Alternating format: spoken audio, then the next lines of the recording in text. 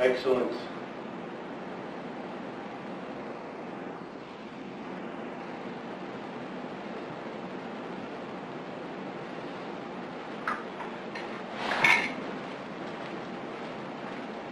I'll be right back.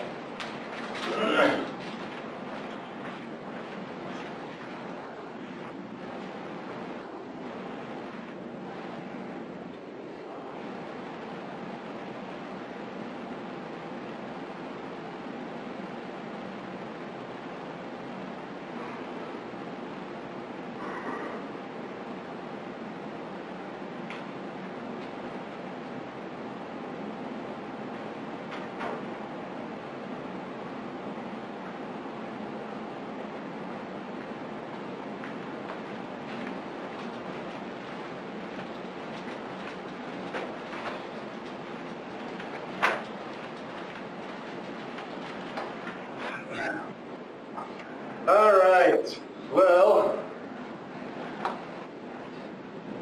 we got extra people there in Maxwell.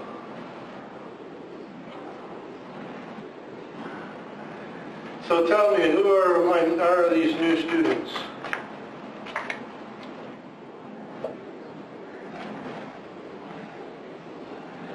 Okay, are you wanting to take this class or are you here for another class?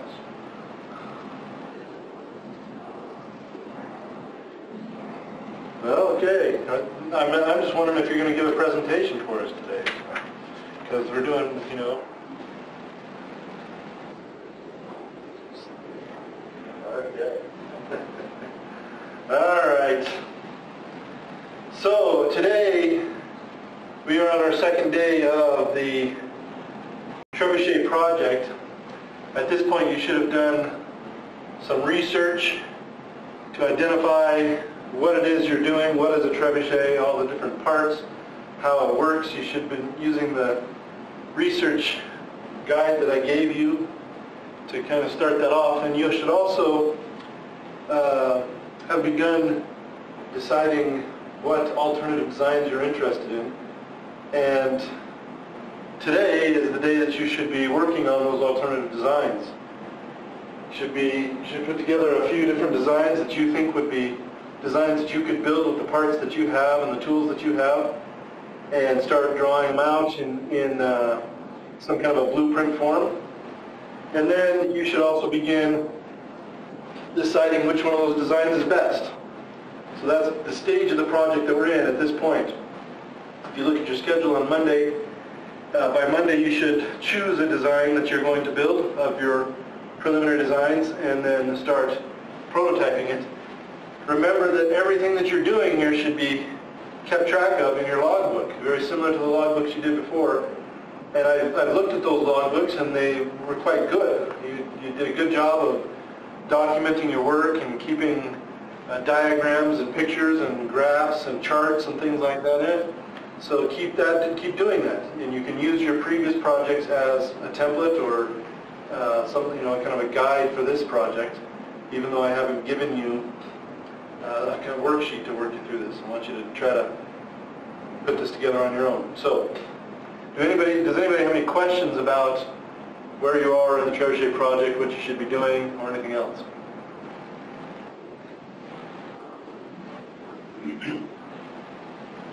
I did, and I could not open it at once again. So maybe just check to make sure that it's open for anyone who has the link and send me the link. Um, I don't know, for some reason, for some reason I have, I have like three Google accounts and for some reason on the, my computers, sometimes it recognizes which account I'm in, sometimes it doesn't. And so it's just given me, and I, well, I think a big part of it is probably uh, the school computer system here has so many different uh, like securities on it. I don't know, they're like firewalls and other things on it. So it, it gives, it just gives me grief. But if, if, just make sure that it's uh, available to anyone who has the link. Just send me the link so that I'm the only one that has that and I'll take a look at it. Or, or save it to an Excel file and send it to me in an attachment or something. Yeah, I did get that. And I, and I got your email about, um, or I got somebody's email about their presentation. Was that one of you two? And I emailed you back about that, so hopefully you got that. Last time, uh, we, we uh, talked about the beginning of this project. Did you get the email that I sent with the paperwork for the project, with that research guide? Yeah. Good. Um, the video that I took last week did not work for some reason, and I'm hoping that this one's working today. It looks like it's going. But I want to go over that sheet one more time really quick, just because it didn't record last time. So we'll spend a little bit of time kind of reviewing what we did last week and talking about trebuchets again. So let me open that up.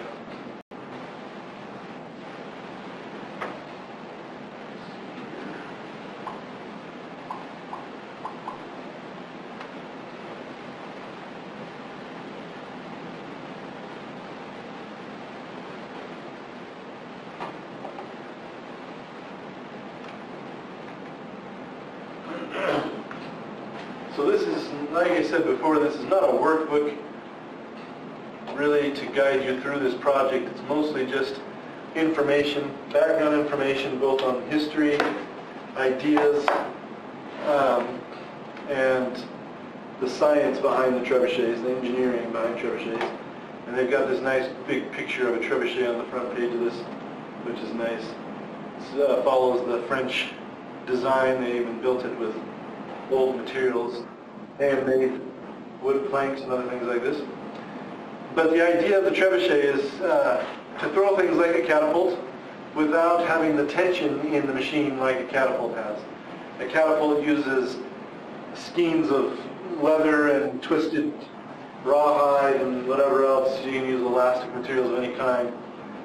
And it uses those elastic materials to, to throw materials, whereas a to throw a, a, projectile where a trebuchet is using a fulcrum arm or a lever arm with a mass on one end on the short end of the arm and the sling on the other end of the arm and of course your projectile inside that sling.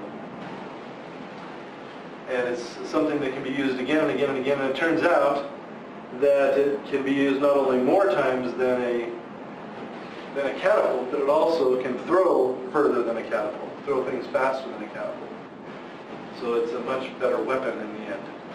Here they show some close-up schematics of this particular design, and I pointed out last time that you can see that this basket on the end of the sling here has several different holes so that you can attach this basket in different places and make the sling longer or shorter. And depending on what you're throwing, you want to make it longer or shorter.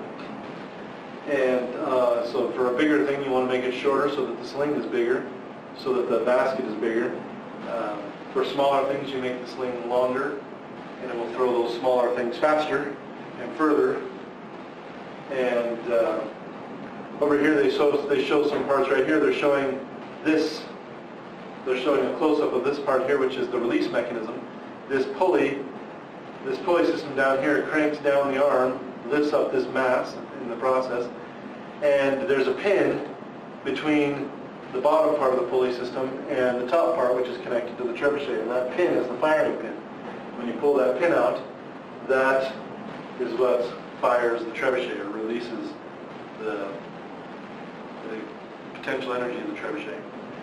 On most of the trebuchets that my students have built, they don't build in a pulley system because they don't need to.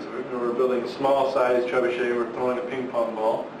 And so it does not require that you have a pulley system to, to crank this thing around. They just pull it down with their hand and they put a little, some kind of pin in it or something. Some of them, some of my students even just held it down with their hand and released it with their hand. And that's fine too.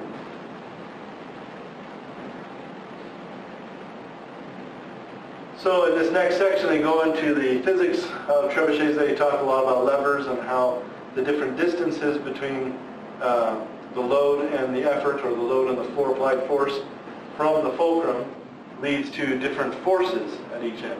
So you have a small force applied here, and you get a big force applied here. And the, the opposite is also true. You can apply a big force here and get a small force here. However, the difference being is that if you apply a big force here and this moves a little bit of distance, this one over here that gives a small force moves a lot of distance. And that's really what the trebuchet takes advantage of, is this uh, very fast movement on this end for a very small movement on this end, a very short movement on this end. And they're, they're showing kind of the opposite. They talk about the different ways that we use this in tools like hammers and scissors and other things. They talk about a different lever where both the effort and the load are on the same side. And other machines where we use that in, the uh, stapler, the wheelbarrow. And then the third class lever where the load is outside of the effort, but the fulcrum is still on the end. So they're just giving a physic, basic physics of levers where, where, where this is used. And the arm is actually a, a type of this third class lever, the broom, hockey stick, so on and so forth. So which one is the trebuchet? It's of course the first class lever. And on the end of the lever we put in a sling, which essentially extends the length of that long end of the lever. And it also, uh, since it's flexible, it also swings things around and allows the, the uh, projectile to get even faster than it would otherwise. And that's really what you're looking for, is something that's very fast. Here's another one of these big French-style siege engines. This one's built on wheels so that it will roll as it as it throws. And it turns out that letting the letting the trebuchet roll back and forth as it throws is very advantageous. It actually makes it more efficient. It also makes it a little more complex, and complex machines are you know more likely to break, more difficult to get right. So you have to kind of do a trade-off between complexity and, and whether or not it's going to work. Here's a very simple one, and it's obviously not very big. It's made of probably some 2x4s here, and it's got a sling on the end, and it's got a mass on this end. You can't even see the mass really in this picture that it's there. Um, well, the counterweight is, it says the counterweight is Zach. Somebody is on this thing, really. Oh, he's pulling it. He's behind it. So he's actually just pulling it with his hands. But I guess that works too.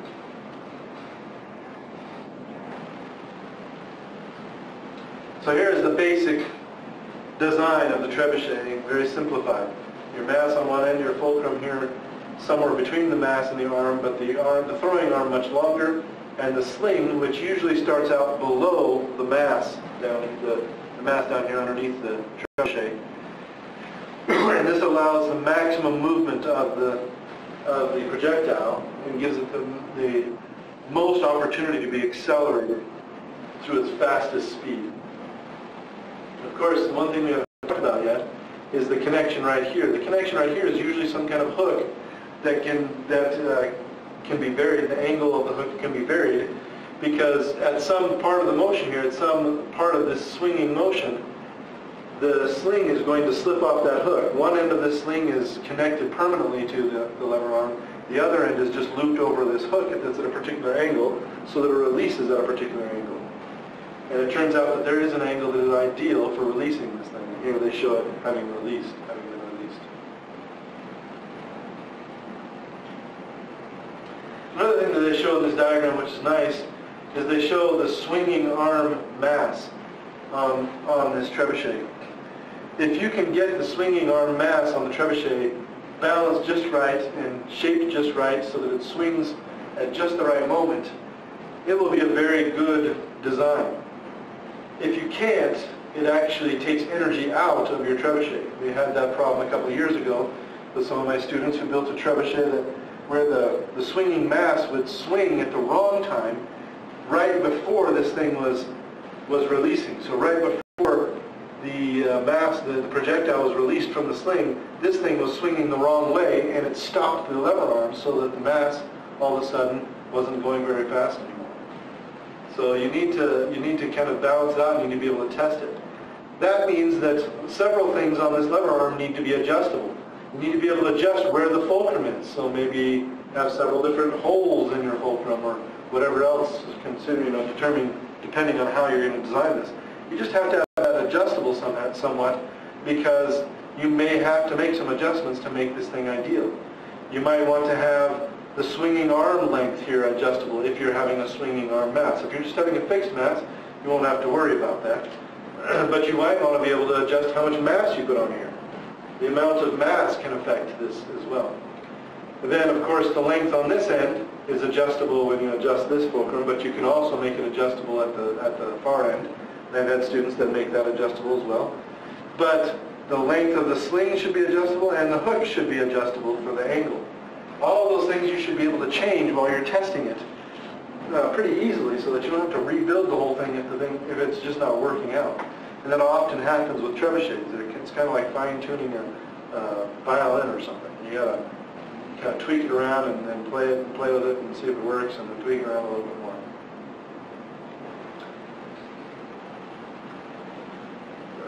So in this part, they actually go through the mathematics of torque.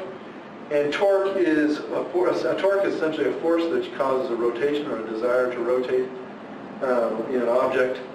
And of course, trebuchets are obviously rotating, so there are obviously torques involved. And the idea is that the torque on each end of the trebuchet is the same. Let me see if I can find the equation that I want to show you to that. I was looking for it last time, and never found it, I don't think. This is essentially the, the equation. Excuse me. So a torque, a torque is equal to a force, which is the F times a distance R, and the sine of theta ends up becoming 1 for 90 degrees, for most situations that we're going to deal with. And so it's just, your torque's end up equaling distance times force. Excuse me.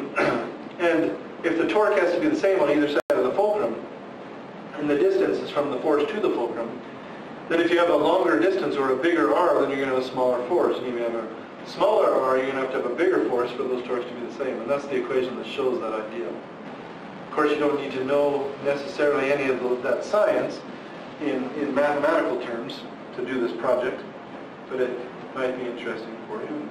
You can use it if you'd like. So, let's see here. Here they, they're just doing some more math again.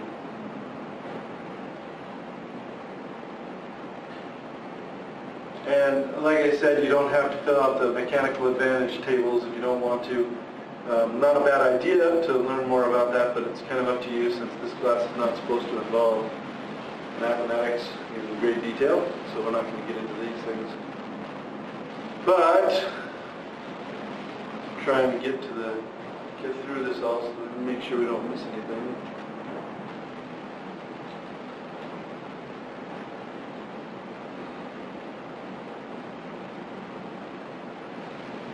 Yeah, the rest of the, oh, so here's the last part that I wanted to talk about. That's the idea of projectile motion. In projectile motion, you essentially have two-dimensional motion. You have motion horizontally and motion vertically, right? So if you have a ball that's being thrown up into the air, it not only moves up and then down again, right, but it also moves forward. So it's two-dimensional motion. And with projectiles, two the two-dimensional motion always ends up being some kind of modified parabola. And that is assuming there's no wind resistance. There will always be some kind of resistance, but uh, that's where the modify, modification comes in. But because we always get this same kind of the same kind of uh, path, this this parabolic path, there is a mathematical ideal, mathematically ideal situation for the projectile. In other words, there's an ideal angle to release it at. And most people would probably say, well, it's probably 45 degrees, right in the middle. And it turns out that in ideal situations, that's not a bad idea. It's not a bad thing. But in less than ideal situations, with air resistance, for example, you want to have a slightly shallower angle, or less, for less than 45 degrees. So 45 degrees, of course, would be right here in the middle of this, shoot this projectile off this way. But ideally, you want a little bit less than 45. You want to get a little bit more horizontal motion to try to overcome some of the air resistance that's going to prevent forward motion of your projectile. So 45 degrees or less, I would, I would try to aim your, or try to adjust your, your trebuchet so that you're shooting probably somewhere between 35 and 45 degrees, 50 degrees at the most, um, and just play with it and see what works. It all depends, it depends on a lot of different conditions, so you may end up getting an angle that's maybe even more than 50, 45 degrees that works best for your particular trebuchet. just because there are lots of factors involved with the, with the movement of the trebuchet. And then they have a bunch of practice problems here that I'm not asking you to do either. And then the questions about um, building your trebuchet, the things you should you should consider. So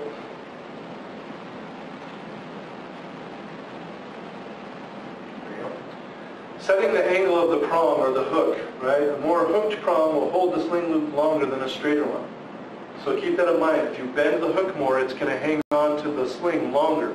In other words, the trebuchet will rotate around further and you'll be throwing flatter. And if it's too hooked, you may just throw it right into the ground right in front of your trebuchet. You may never let go of it. So um, a, a, a um, less hooked or less bent hook will give you an earlier release or a higher trajectory, and a more hooked will give you more forward pointing or a flatter trajectory. The length of the cord that holds the sling pouch, right? A shorter sling will rotate faster than a long sling, right? And long slings will give you slow sling rotation and a later release and a flatter trajectory. So shorter ones will give you a higher trajectory again. Those things can affect two things. They can affect the speed of the, of the projectile, and they can also affect the trajectory of the projectile. Right? So the, the other thing that they also um, will affect is the shorter slings will do better for heavier masses, and um, they'll speed them up better. The longer slings, even though they have a slow rotation at the beginning, at the end will have a longer, will have a faster speed for lighter materials. They're not mentioning that here, but that is true. So here they talk about heavy projectiles and light projectiles. You're not necessarily going to get to choose it because we're throwing ping pong balls, but it's not a bad idea to realize that heavier projectiles get a higher trajectory and light projectiles get a flatter trajectory.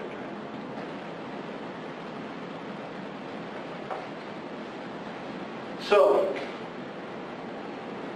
got those three things to consider, and that is the end of the trebuchet curriculum sheet. Kind of this sheet that's going to give you an idea of how to search for ideas, what things to consider as you're as you're designing and as you're building. Just to get us just a few things to get you started. Any questions about that? Again? Okay. Whew, we got through that again. Now we're ready to get started with this project. So, finish up your research, get started on some alternative designs, get started on evaluating your alternative designs, and then um, choose an alternative design for your final design and create your final design for prototype. Now, today we are supposed to be giving some presentations. Now, I don't know how, what kind of uh, tools we have at your end for giving presentations. I assume there's a computer in the room since there's a projector in the room. Can you access the computer in the room and put your presentations up on the screen there? Or no?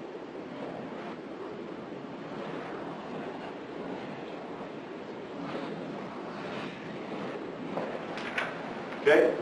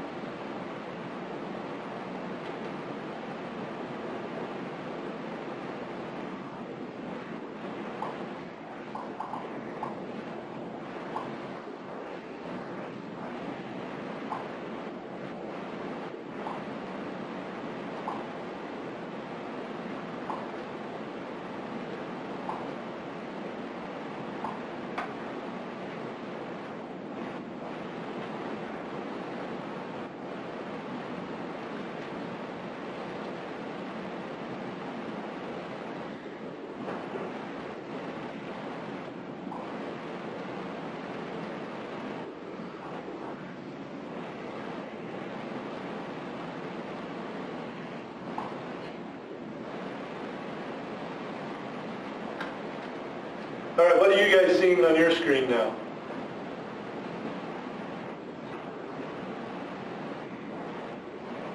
Are you seeing yourselves? Okay. That's what I want. That's exactly what I want, because I want to be able to see the PowerPoint on my video, so I think that's the only way to do it, really.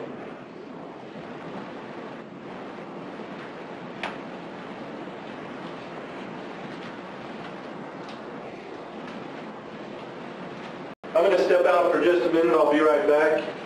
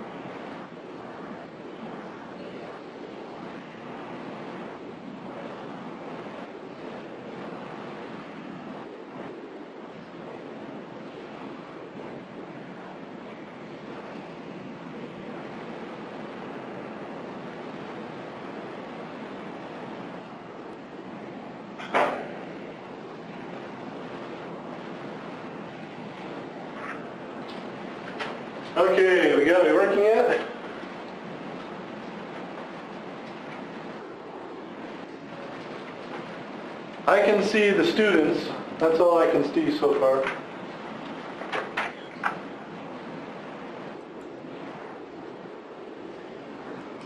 No, I can't see. No, I can't. I can see the desks in the classroom and all of you sitting at them.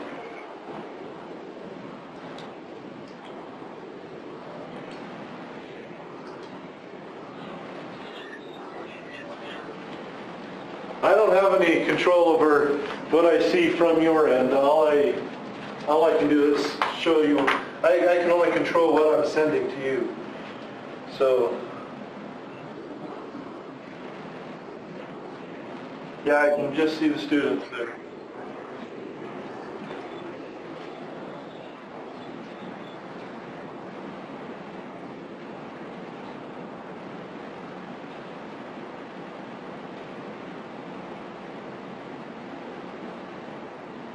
Okay, I can see, I can see in one corner of my screen a smaller screen that says Bridge Project, so that's, and then it disappears.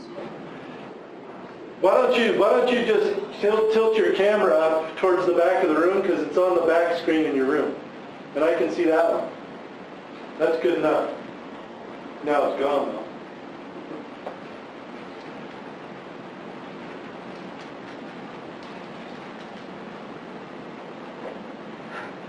There we go. Just zoom in on that back right screen and we'll call it good.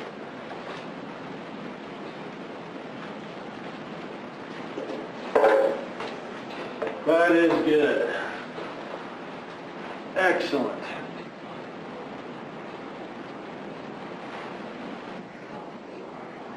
Sounds good to me.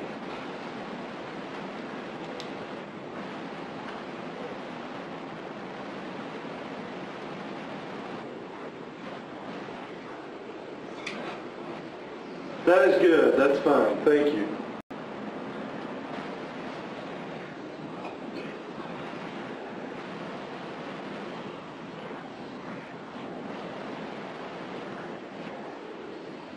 I can see just fine. Go ahead whenever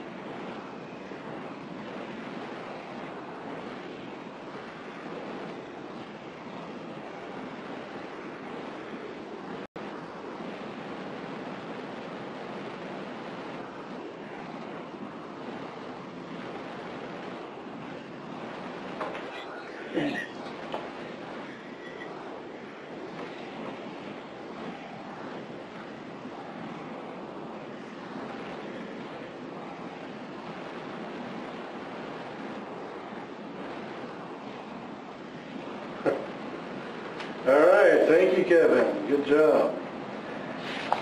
All right, Kyle, you ready to do this?